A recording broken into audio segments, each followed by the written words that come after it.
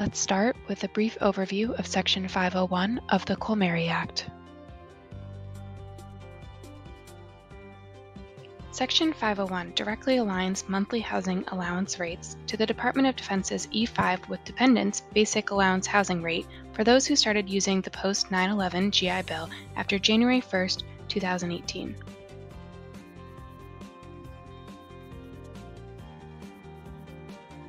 The Department of Veteran Affairs delayed implementation of this provision until December 1, 2019, though the requirements were set to take place on August 1, 2018.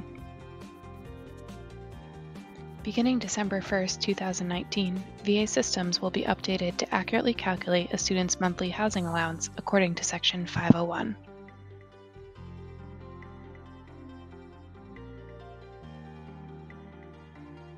To determine impact, we must first identify the date the claimant first used entitlement for the post 9 11 GI Bill.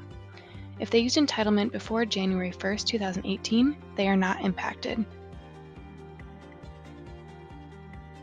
If they used entitlement on or after January 1, 2018, but before August 1, 2018, they are impacted. And finally, if they used entitlement on or after August 1, 2018, they are also impacted.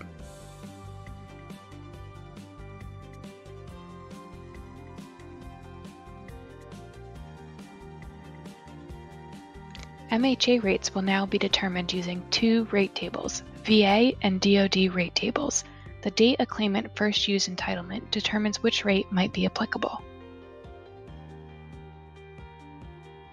If a claimant first used entitlement before January 1, 2018, they are not impacted and will continue to receive VA MHA rates. If a claimant used entitlement on or after January 1, 2018, but before August 1, 2018, they are impacted and will receive either the VA rate or DoD rate.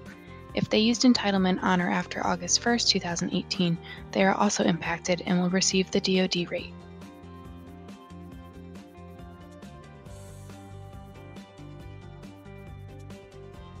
Before we go through some scenarios, let's take a moment to review rate protection. Rate protection protects rates for individuals who are continuously enrolled at the same campus. This means that if the rate associated with a particular campus changes to a lower rate, the individual will continue to receive the higher rate.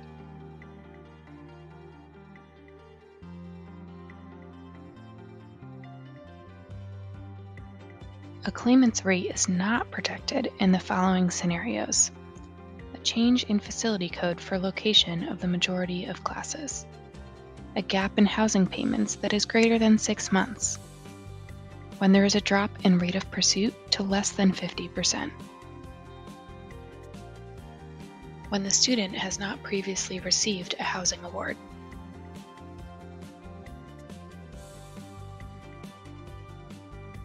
Let's go through some scenarios. In the following scenarios, determine the correct MHA rates beginning December 1, 2019. Please assume that the student has continuously attended the majority of their classes full-time at Louisiana Lafayette.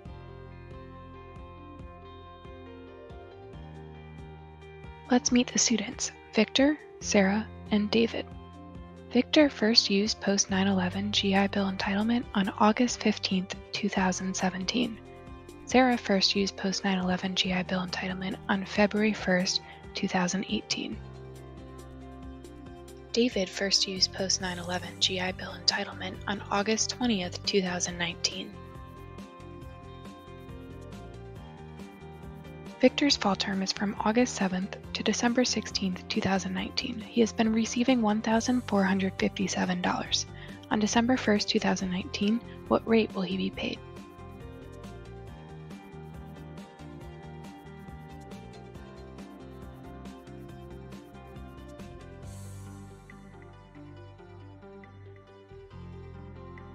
First, determine what category Victor falls under.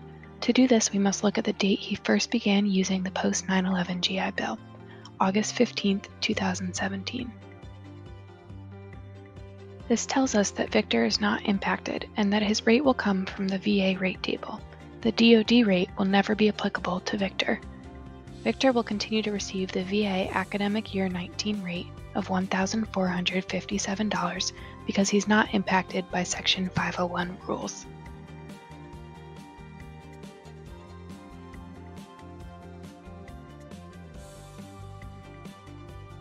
Sarah's fall term is also from August 7, 2019 to December 16, 2019.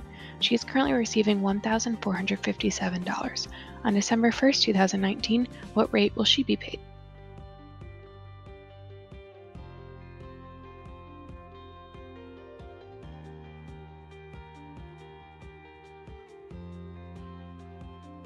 First, determine which category Sarah falls under. To do this, we must look at the date she first began using the post 9-11 GI Bill, February 1, 2018. This tells us that Sarah falls into the second category and will either use the VA rate or DoD rate table. She will receive the VA academic year 2017 rate until the DoD rate is higher or she breaks rate protection rules.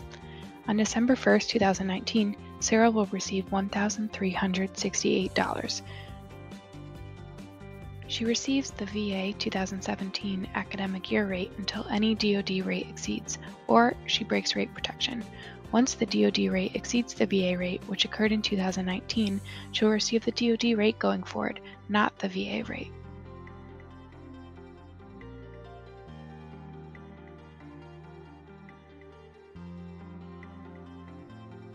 David's fall term is from August 7, 2019 to December 16, 2019.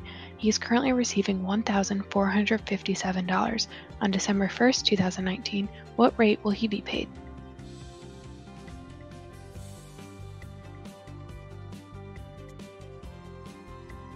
First, determine which category David falls under. To do this, we must look at the date he first began using the post 9 11 GI Bill, August 20th, 2019. This tells us that David is impacted and that his rate will come from the DoD rate table. The VA rate table will never be applicable to David. David will receive rates from the DoD rate table. On December 1, 2019, he will receive $1,368.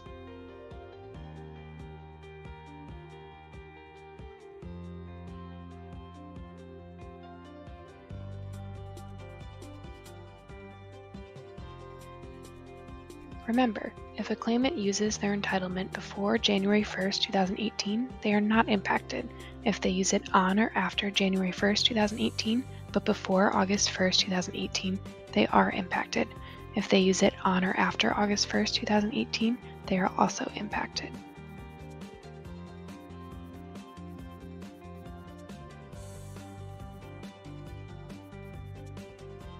Great job with those scenarios. Now let's try two more advanced scenarios. In the following scenarios, determine the correct MHA rates beginning December 1st, 2019. Please assume that the student has continuously attended the majority of their classes full-time at New York Institute of Technology.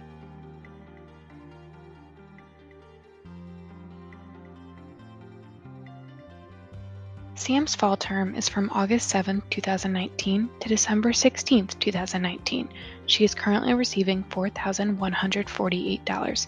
On December 1, 2019, what rate will she be paid?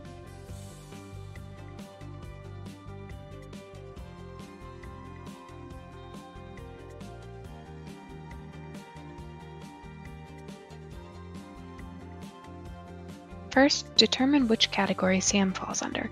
To do this, we must look at the date she first began using the post 9 11 GI Bill, February 1, 2018. This tells us that Sam falls into the second category and will either use the VA rate table or DoD rate table. She will receive the VA academic year 2017 rate until the DoD rate is higher or she breaks rate protection rules.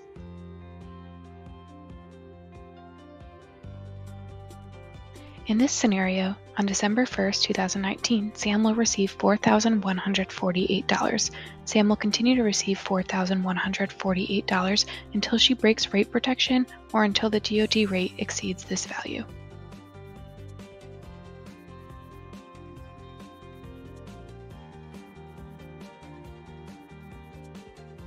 Drew's fall term is from August 7, 2019 to December 16, 2019. He is currently receiving $3,738. On December 1, 2019, what rate will he be paid?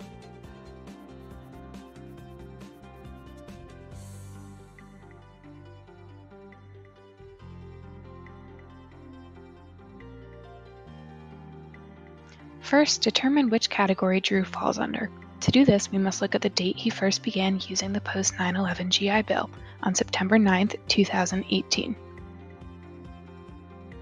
This tells us that Drew falls into the third category and will use the DoD rate table since he first used entitlement on or after August 1, 2018. On December 1, 2019, Drew will receive $3,669 due to rate protection rules.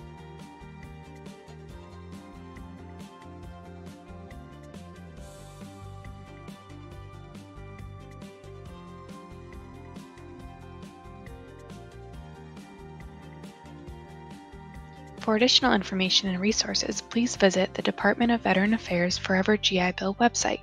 For specific questions, please reach out to the Forever GI Bill mailbox.